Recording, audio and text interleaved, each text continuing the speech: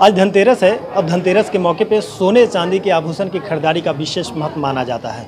और ऐसे में आप देखें कि अभी हम सोने की दुकान में मौजूद हैं। यहाँ पे ग्राहकों की भीड़ उमड़ पड़ी है और जो ग्राहक पहले से ही जो बुक करा रखे हैं, वो सोने चांदी के आभूषण की खरीदारी करने के लिए शोरूम में पहुँच गए हैं। देखिए कि किस तरह से जो लोग हैं, लोगों में उत्साह दिख रहा है। लोग यहाँ पे खरीदारी करने के लिए पहुँच रहे हैं और निश्चित तौर पे आज धनतेरस के मौके पे सोने चांदी के आभूषण की खरीदारी का जो महत्व बताया गया है और इसी का नतीजा है कि जो महिला हैं, जो पुरुष हैं, जो ग्राहक हैं, वो सभी लोग खरीदारी करने के लिए यहाँ पर पहुँचे हुए हैं और ऐसा अनुमान लगाया जा रहा है कि राजधानी पटना में सिर्फ़ 1500 करोड़ से ज़्यादा का कारोबार हो सकता है। ग्राहकों की बात करें तो सुबह से ही लाइन लगी हुई है ग्राहकों की। हम हम लोग खुद आठ बजे से स्टोर में उपलब्ध हो रखेंगे ताकि ग्राहकों को परेशानी ना हो। सब काम आराम से हो सके।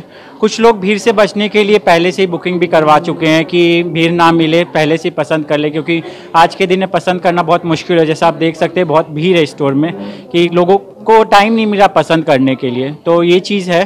तो पहले से लोग पसंद करके रखे हुए हैं तो उनकी भीड़ भी ज़्यादा हो रही है, क्योंकि उनको समय कम मिल रहा है कि अपना पसंद किया हुआ है तो लेने, खाली उनको लेना पड़ेगा।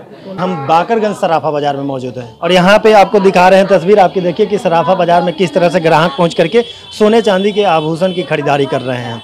और ऐसे में निश्चित तौर पर कह सकते हैं कि सोने चांदी के आभूषण के साथ साथ सोने के सिक्के भी खरीदने का शुभ मुहूर्त में शुभ माना जाता है। और ऐसे में 2000 के नोट बंद हो गए हैं लेकिन 2000 के चांदी के नोट भी देखने को यहाँ पे मिल रहा है।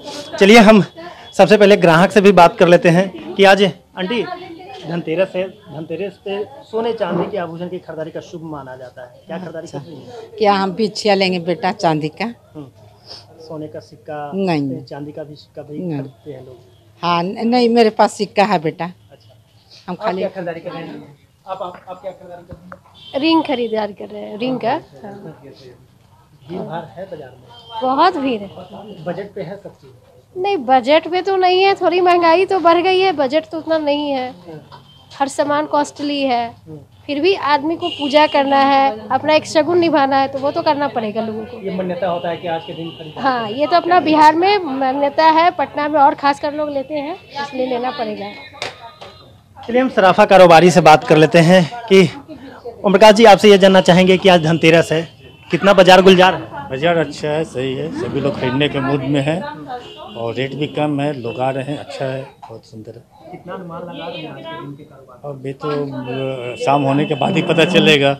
ऐसे ठीक है मार्केट का पॉलिटिक्स जी उससे अच्छा लोग अच्छा खरीदारी कर रहे हैं मार्केट का भी कौन सा डिमांड ज़्यादा कॉइन्स जनरली तो लोग सिक्का से मुहूर्त करते हैं मगर बर्तन वर्तन भी बिक रहे हैं चैन वैन भी बिक रहे हैं सोने का तो अच्छा है। एक दो हज़ार का नोट भी आपके पास है? जी ये तो पहले का चलता है अभी भी चल रहा है यही है। मैंने बाज़ार गुलजार है। जी जी जी मार्केट अच्छा है। लेकिन निश्चित तौर पे कह सकते हैं कि धनतेरस का मौका है तो निश्चित तौर पे सोने चांदी के जो आभूषण की खरीदारी का महत्व है उसी को लेकर के बाजारों में रौनक देखने को मिल रही है और जो कारोबारी हैं वो निश्चित तौर पर उम्मीद लगा रहे हैं कि अच्छा कारोबार होगा। सहयोगी कृष्ण नंदन के साथ नीरज कुमार ई भारत पटना।